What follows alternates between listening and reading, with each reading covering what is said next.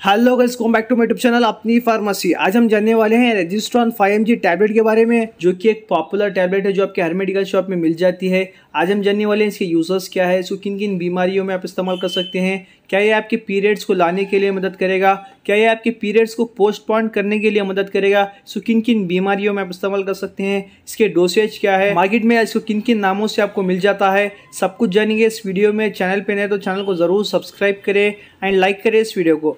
Registron 5mg tablet Registron tablet को Torrent pharmaceutical manufacture करती है। इसकी जो एम आर पी है सिक्सटी रुपीज़ की एम आर पी आती है। दस गोली का स्ट्रिप आता है। इसके अंदर जो कंटेंट है, इसके अंदर है वो है नॉर्जिस्ट्रॉन नॉर्जिस्ट्रॉन जो है, एक एक्टिव इंग्रेडिएंट है, जो एज ए प्रोजेस्ट्रॉन काम करता है। फीमेल का हार्मोन होता है। जो आपके प्रेगनेंसी को डेवलप करने के लिए साथ ही आपके पीरियड्स को लाने के लिए मदद करता है प्रोजेस्ट्रॉन रेजिस्ट्रॉन टैबलेट को आपके एमनोरिया की कंडीशन में दिया जाता है। अगर आपको इरेगुलर पीरियड्स हो रहे हो पीरियड्स को रेगुलेट करने की मदद करता है। आगे हम जानेंगे इसके टैबलेट किन किन बीमारियों में आप इस्तेमाल कर सकते हैं। साथ ही इस टैबलेट को दिन में कितने बार लेने से पीरियड्स आ सकते हैं। अगर आपको पीरियड्स को पोस्टपोन करना है उसको आगे ले जाना है तो आप कितने टाइम इस टैबलेट को इस्तेमाल कर सकते हैं वो भी जानेंगे इस वीडियो में।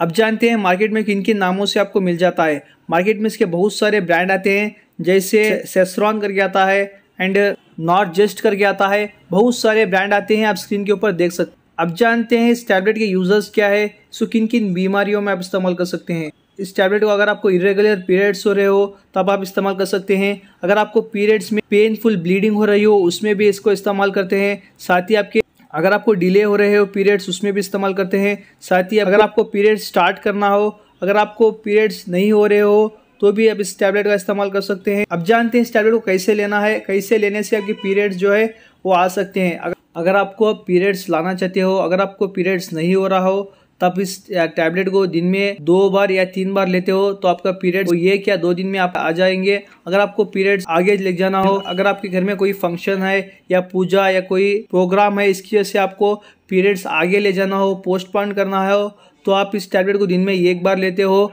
तो आपका पीरियड्स जो है वो आगे चले जाएगा। आपके पीरियड्स आने से दो दिन पहले से आपको लेना है, दिन में एक बार लेना है तो आपका पीरियड जो है आगे चला जाएगा। अगर आप जानते हैं इसके क्या क्या साइड इफ़ेक्ट है, इस टैबलेट के उतने साइड इफ़ेक्ट देखे नहीं गए हैं। किसी एक को इसका साइड इफ़ेक्ट देखा गया है।